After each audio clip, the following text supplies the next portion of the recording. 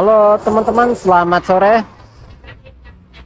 Oke, kegiatan kita di sore hari ini setelah menyiapkan media tanam di polybag ini. Jadi pada kesempatan sore hari ini kita akan mulai persemaian teman-teman. Tahap pertama yang dilakukan untuk mulai persemaian adalah kita tentunya menyiapkan bibitnya. Ya, di sana ada bibitnya. Mari kita langsung melihat ini.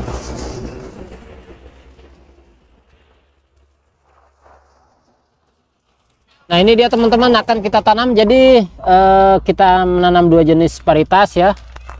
Yang satu dari Pertiwi yang satu dari Bintang Asia. Mereknya Jumbo. Yang ini Merlion. Golden sama yang ada netnya. Kemudian teman-teman di sini saya akan uh, seperti apa ya melakukan uji coba lah istilahnya ya. Jadi uh, nanti saya akan buat teman-teman ini full. Tidak akan ada penambahan tanah lagi. Saya mau menggunakan tangkos 100% ya. Jadi hasilnya seperti apa nanti kita sama-sama melihat. Dan ini baru saya isi satu nanti uh, rencana akan saya tambah. Antara 15 sampai 20 polybag kita akan melihat bagaimana hasilnya ya. Kalau yang lainnya yang kemarin kita buat videonya itu ini uh, sudah tercampur dengan tanah dan dolomit ya. Oke kita kembali ke persemaian kita teman-teman. Jadi uh, untuk melakukan persemaian ada beberapa cara tergantung selera masing-masing. Namun di sini sesuai versi saya. Untuk melon saya melakukan perendam dulu teman-teman. Dan di sini saya sudah menyiapkan dua wadah. Ini sudah saya isi air dan air ini sudah uh, hangat hangat kuku ya teman-teman. Jadi tidak tidak panas namun hangat. Akan kita rendam di sini bibitnya. Uh, ini kan sore. Mungkin besok pagi akan saya uh, tiriskan lalu kita peram ya. Oke mari kita buka dulu bibit ini. Oke ini adalah video yang bagian keduanya setelah menyiapkan media semai. Kita melakukan persemaian kita buka dulu yang jumbo oke gunting. Teman-teman ini kemasan kecil ya. Kurang lebih 10 atau 15 biji ada ini. Nah. Ya sekitar 15 biji. Ini sekitar 25 biji udah saya hitung ya. Jadi kita kita rendam di sini. Ya. Kita buka satu lagi dan setelah itu kita masukkan di sini. Ini teman-teman bisa melihat ini masih terapung semua. Uh, setelah satu malam kita rendam nanti ini sini ada ada yang terapung itu yang kita buang ya. Kemudian kita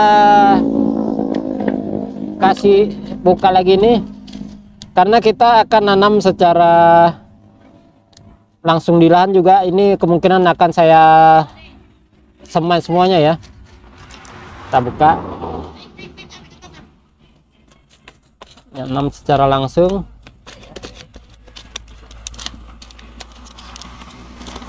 Nah dia punya bibit hijau teman-teman. Kita dekatkan. Ya hijau.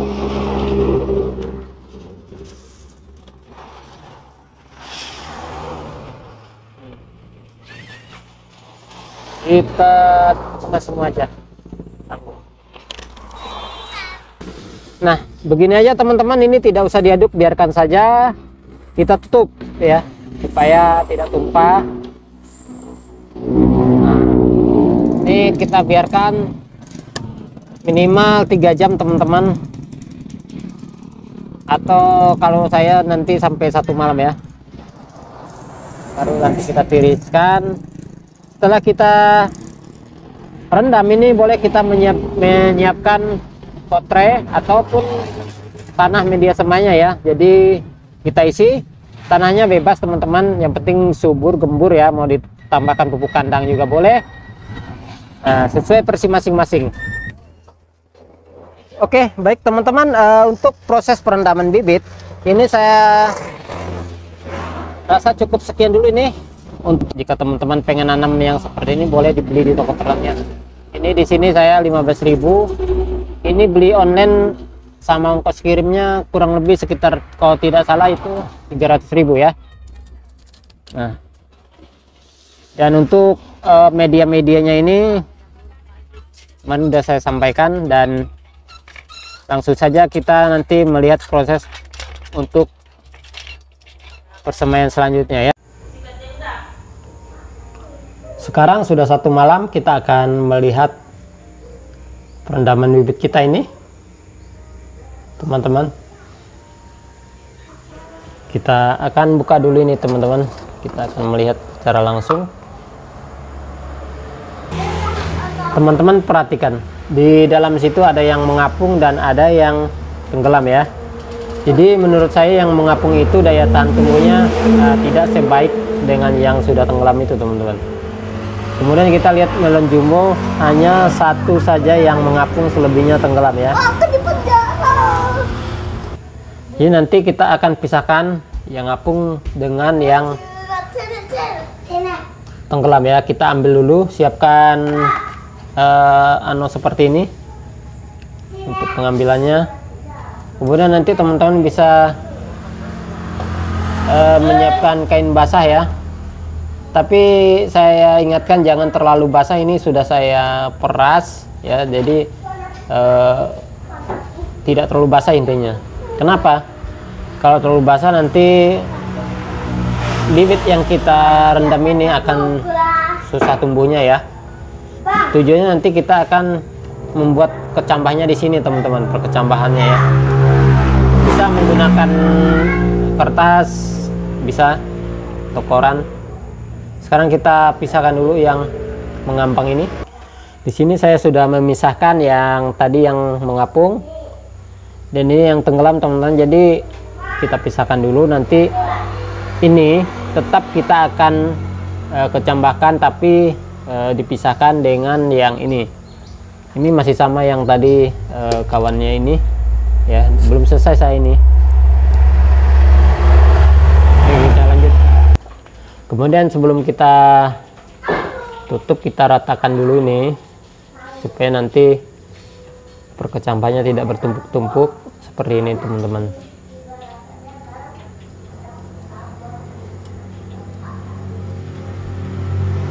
Oke. Dan untuk yang sana kita pisah ya. Kita pisah. Ini pun sama prosesnya sama seperti yang tadi kita buang dulu airnya lalu kita siapkan juga di kain basah. Nah ini dia kita sama ratakan lagi kayak yang tadi. Oke. Sekarang kita lipat ini teman-teman kita lipat nanti kita letakkan di suhu ruangan ya. Suhu ruangan itu bisa di uh, intinya jangan sampai terkena sinar matahari langsung ya. Tempat yang gelap lebih bagus. Sudah kita lipat ini teman-teman dan ini sudah rapi. Lalu kita masukkan ke wadah itu nanti. Kita akan simpan di tempat yang aman dan ideal biasanya di dalam satu malam besoknya kita lihat sudah ada yang berkecambah ya. Intinya satu hari sudah bisa kita pindahkan ke potrei persemaian kita.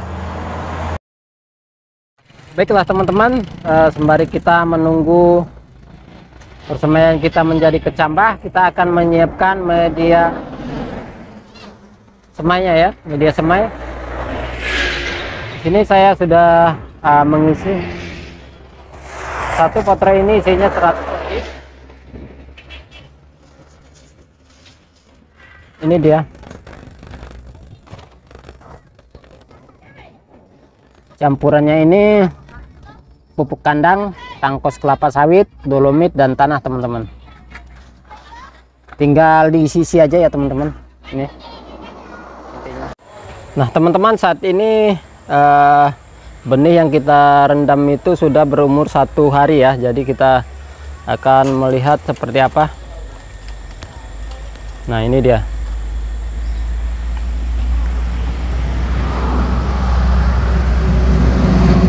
Ini 100% tumbuh teman-teman dari perkecambahannya ya.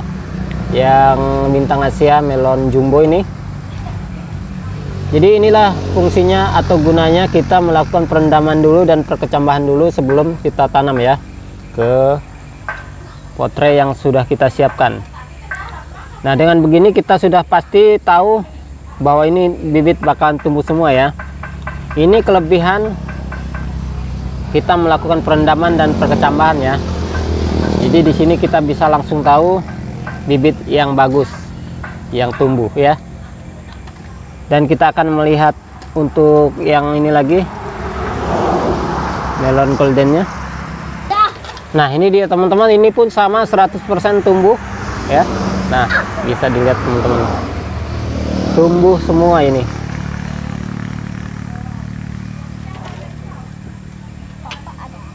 Oke, kita akan tanam ini bibit langsung ke potre yang telah disediakan.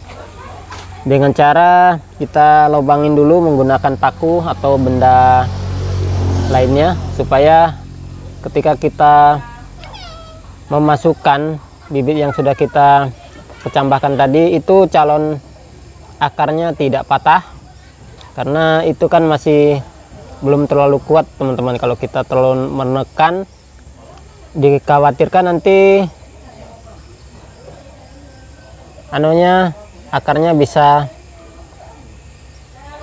patah ya.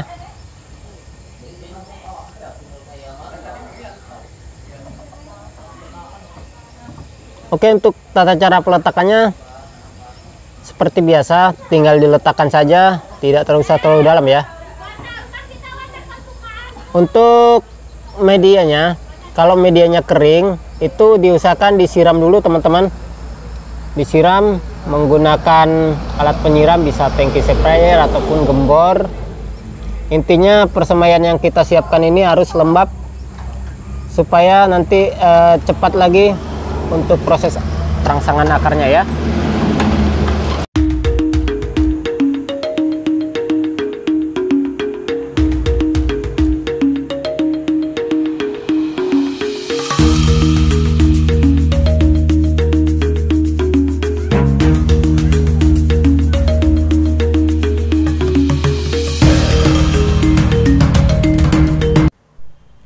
teman-teman, sekarang persembahan kita bisa Anda lihat saat ini sudah berumur dua hari setelah kita meletakkannya di media potret ini, teman-teman. Jadi saya pastikan di sini selama dua hari itu sudah tumbuh 100%, teman-teman. Nih bisa dilihat baik melon jumbo ataupun melon golden jadi semuanya tumbuh ya. Sangat efektif dan efisien teman-teman